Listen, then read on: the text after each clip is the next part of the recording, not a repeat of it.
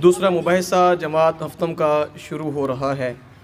और आज अल्हम्दुलिल्लाह आपके इस पुरसकून माहौल को देख के बड़ी खुशी हो रही है कि बड़ी डिसिप्लिन का मुजाहरा आपने किया है। कोई भी आवाज़ नहीं आ रही। एक दफ़ा अपने लिए और मोहतरम मलक फैसल यार उतरा के लिए क्लैपिंग कर दें।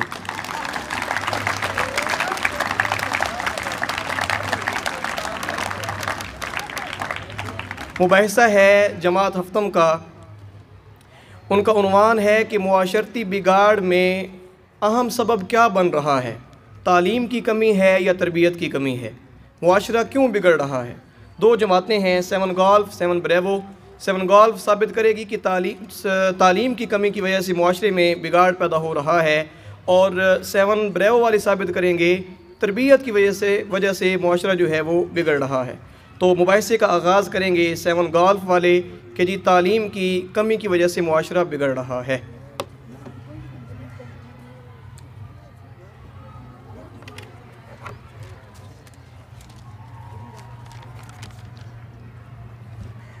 हर शख्स तो होता नहीं हर बात के काबिल। हर शख्स को हर बात बताया नहीं करते। ये तख्ते खुदा है, इसे तुम पाक ही रखना। हर शख्स को इस दिल में बसाया नहीं करते। खामोशियों को जो तेरी खातिर न लाए, उस शख्स पे अल्फाज को ज़ाया नहीं करते। प्यारे दोस्तों अस्सलाम वालेकुम मेरे शेर का मतलब ही यही है कि इन जैसों पर अपने अल्फाज को ज़ाया नहीं किया जाता। और आज मेरा मौजू है कि माशरती बिगाड़ की वजह तालीम की कमी बन रही है। आज जितने, आज के इस पुरशूब और तेज़ तरीन दौर में तालीम की ज़रूरत बहुत अहमियत की हामिल है और इंसान तरबियत को तालीम से ही सीखता है। जब इंसान के पास तालीम ही नहीं होगी तो वह तरबियत कहाँ से सीखेगा? तो दुनिया दुनिया जितनी भी तरक्की कर ले, लेकिन तालीम की अहमियत बहुत ज़्यादा है। आज हमारा माशरा बिगड़ा हुआ माशरा बन चुका है। इसका सबसे बड़ा सबब तालीम की कमी है। इसलिए मेरा कहना है कि माशरे का बिगाड़ की वजह सबसे सबसे बड़ी वजह तालीम की कमी है। अल्लाह से करे दूर तो तालीम भी फितना इमलाक भी, औलाद भी, जागीर भी फितना। ना हक के लिए उठे तो शमशीर भी फितना। शमशीर क्या? नारे तकबीर भी फितना। शुक्रिया।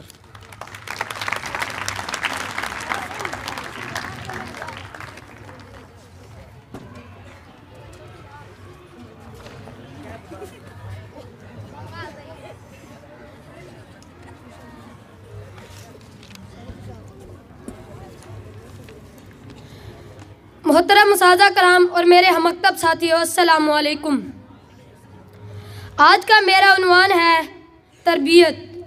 हमारे लिए तरबियत का होना लाजिम है। अगर हमारे अंदर तरबियत नहीं होगी तो इल्म का क्या फ़ायदा? हमारे माँ बाप हमारी तरबियत करते हैं। तभी तो हम इतने बड़े स्कूल में पढ़ रहे हैं। तभी तो हम इतने बड़े अहदे पर फाइज हैं। हर इंसान की अच्छी तरबियत होनी चाहिए। अगर तरबियत नहीं होगी तो अगर तरबियत नहीं होगी तो हम हर किसी से बदतमीज़ी से बात करेंगे। तो ये सब यही कहेंगे कि इनके माँ बाप ने इनकी तरबियत अच्छी नहीं की। हमें हर किसी से अच्छे लहजे में बात करनी चाहिए। तभी तो लोग लोग भी कहेंगे कि कितने खुश नसीब हैं इनके माँ बाप जिन्होंने इन्हें तरबियत दी। फरिश्तों से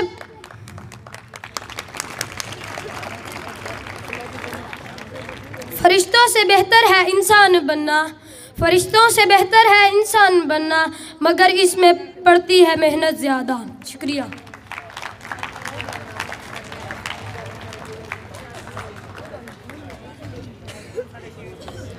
असलकुम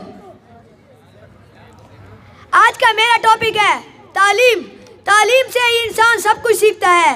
तालीम की वजह से आप लोग यहाँ पर बैठते हैं और हमें आकर कह रहे हैं कि तरबियत ज़्यादा बेहतर है। अगर आपको तरबियत ज़्यादा बेहतर लगती है तो स्कूल में पढ़ने की क्या ज़रूरत है? जाए किसी मदरसे में तरबियत सीखें और वहाँ पर बैठ जाए।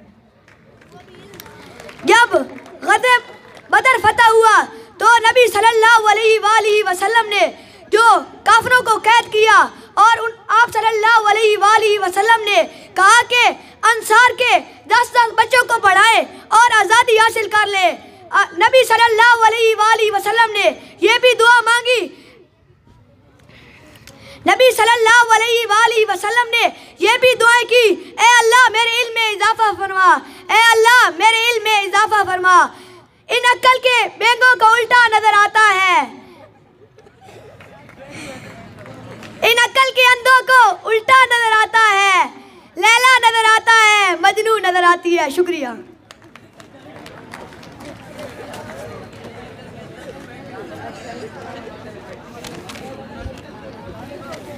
असलम दोस्तों।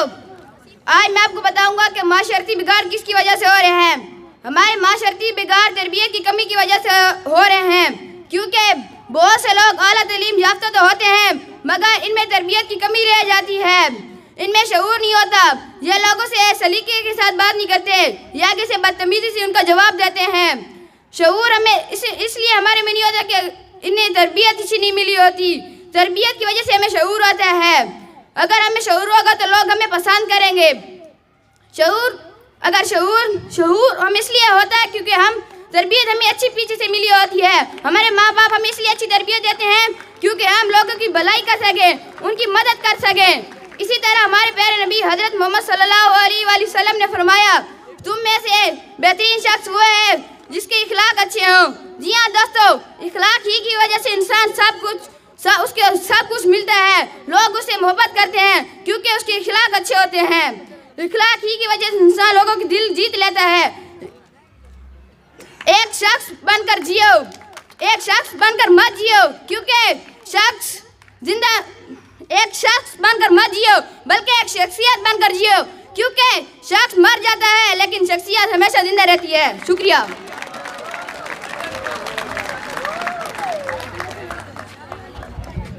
असलकुम तो मेरा टॉपिक है कि माशरी बिगाड़, माशरती बिगाड़, सिर्फ़ तर, तलीम की कमी है। तो इनको पता नहीं, ये बात समझ क्यों नहीं आ रही? और ये ऊपर से कहते हैं कि इल्म किसके लिए है? इल्म इल्म की हमें क्या ज़रूरत है? जब इल्म की ज़रूरत नहीं है तो फिर स्कूल में क्या करने आते हैं? और फिर ट्यूशन किसके लिए जाते हैं? जब इनकी, इनके, इल्म की ज़रूरत ही नहीं है तो घर बैठें और जाकर मजदूरी करें। और यहाँ आ जाते हैं इल्म सीखने। तो बस मैं तो यही कहूँगा। थैंक्स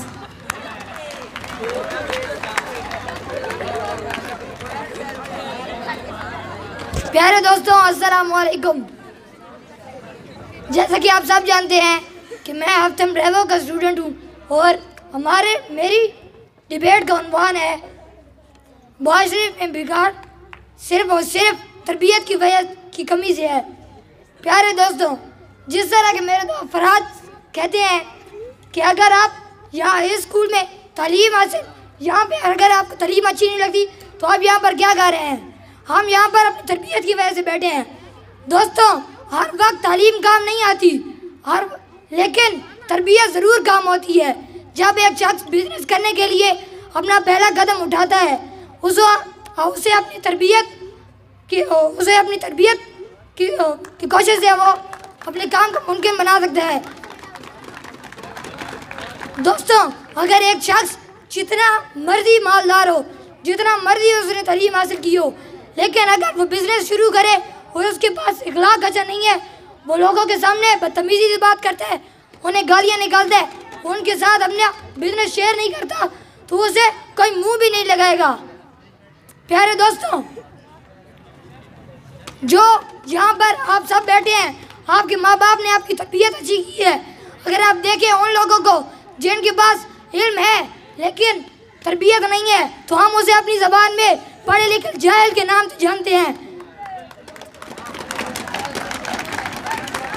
मैं अपनी तकरीर का इख्तिताम इस शेर पे करूँगा। हर शख्स तरबियत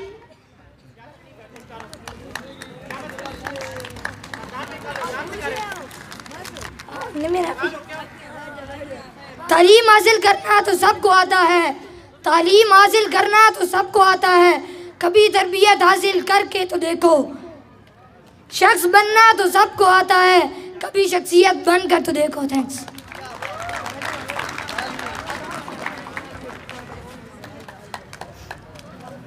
अस्सलाम वालेकुम दोस्तों। जैसा कि आप जानते हैं कि मेरा मौजू तालीम है। जब तालीम ही नहीं होगी तो तरबियत ही कैसे होगी? जब हम यहाँ तलीम सीखते हैं तो ही तो तरबियत होती है। जब इन्होंने तरबियत ही सीखनी है तो यहाँ स्कूल ये मक्खियाँ मारने आए हैं। तो मैं ये एक शेर ही पढ़ूँगा। कभी यहाँ देखते हैं, कभी वहाँ देखते हैं। कभी यहाँ देखते हैं, कभी वहाँ देखते हैं। पता नहीं ये बराबो के बोंगे कहाँ देखते हैं। शुक्रिया।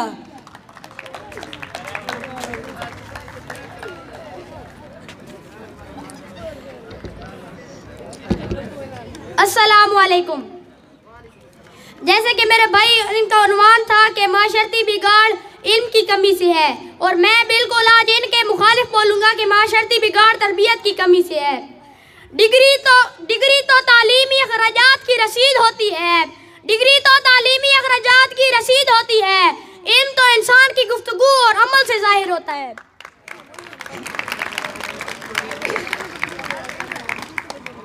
हमेशा तालीम को अमल के सांचे में ढाला जाए।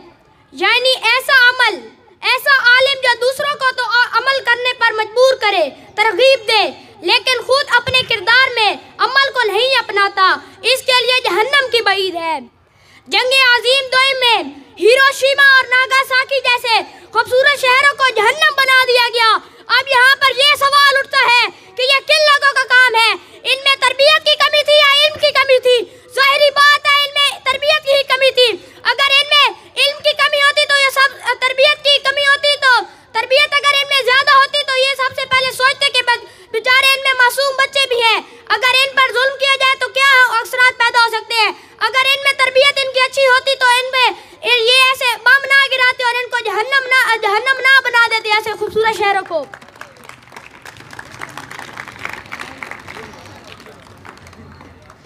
दोस्तों फिनलैंड एक ऐसा मुल्क है जहाँ जेलें वैरान पड़ी हैं और अमेरिका एक ऐसा मुल्क है जहाँ जेलें कम पड़ गई हैं जहाँ जो कैदी हैं वो बहुत ज़्यादा है और जेलें कम पड़ गई हैं अब यहाँ पर भी एक सवाल पैदा होता है कि ये अब के इनमें इल्म की कमी है या तरबियत की कमी है? दूसरी तरफ़ अमेरिका अमेरिका इनमें अमेरिका में तालीम फूट फूट पर भरी है, लेकिन इनमें तरबियत की कमी ज़्यादा से ज़्यादा नज़र आती है। एक ऐसा माशरा जिसमें करप्शन हो करप्शन ज़्यादा होती हो, वहाँ हम अपने आने वाली नस्ल को कैसे इस वबा से बचा सकते हैं? अगर इनकी तरबियत अच्छे तरीके से की जाए तो इस करप्शन जैसी वबा से हमेशा बचे रहेंगे। किताबों की लफ्जी बातों को अपनी ज़िंदगी में अमली तौर पर अपनाना होगा। तहजीब ही सिखाती है इंसान को जीने का सलीका। तहजीब ही सिखाती है इंसान को जीने का सलीका। तालीम से जाहिल की जहालत नहीं जाती। शुक्रिया।